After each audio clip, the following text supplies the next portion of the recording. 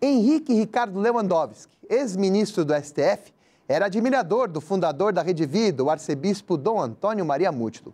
Ministro Lewandowski marcou o período da Suprema Corte Brasileira com julgamentos históricos. Paz e bem, Luiz Antônio.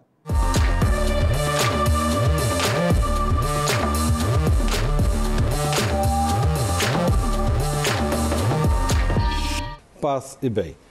O ex-ministro do Supremo Tribunal Federal, Ricardo Lewandowski, completa amanhã, dia 11 de maio, 75 anos de vida.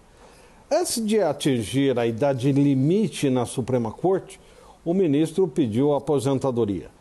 A vaga está aberta para indicação do presidente Lula e é necessário a aprovação de pelo menos 41 dos 81 senadores da República.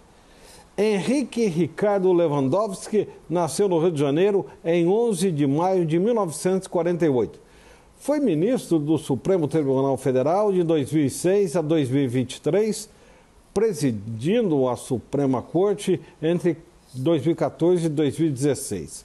Ricardo Lewandowski era um admirador de Dom Antônio Maria Mútulo, arcebispo de Botucatu e fundador da Rede Vida de televisão. Luiz Antônio para o canal da Família. Paz e bem.